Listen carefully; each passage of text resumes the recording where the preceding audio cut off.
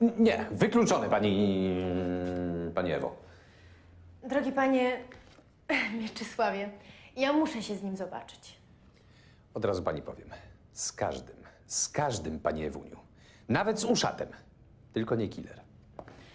Killer jest postacią europejskiego formatu. My nie mamy tak wielu sławnych Polaków, nawet wśród polityków.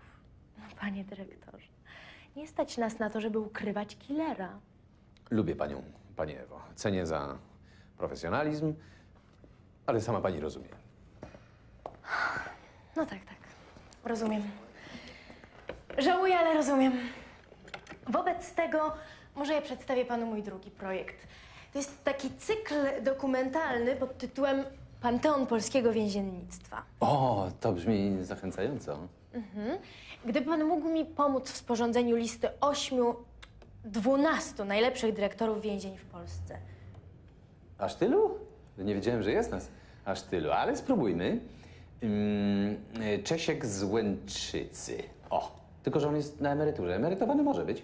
N- Nie, no to muszą być aktywni dyrektorowie w służbie czynnej. Y, to może Mirek y, z Białołęki.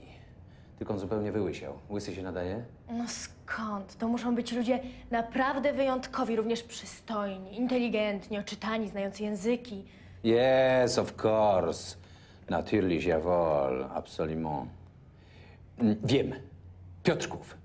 Tam jest Staszek Alcatraz. Tak jest. Staszek. Nie. Nie. Gdyby pani przyszła dwa tygodnie temu, to ta...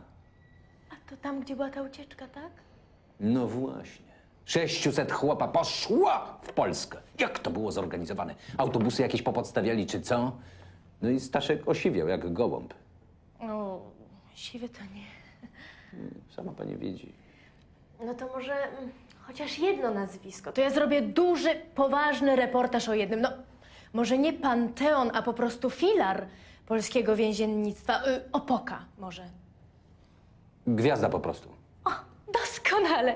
Gwiazda penitencjarnej Polski, dyrektor Mieczysław y, Klonisz. Ja? Ja bym się nadawał? Nie jest pan siwy, ani łysy, ani na emeryturze. I nikt mi nigdy nie uciekł? Spełnia pan wszystkie wymagania. No, ale pan jest pewnie bardzo zajęty. No ale dla dobra polskiego więziennictwa znalazłoby się trochę czasu. Bardzo panu dziękuję.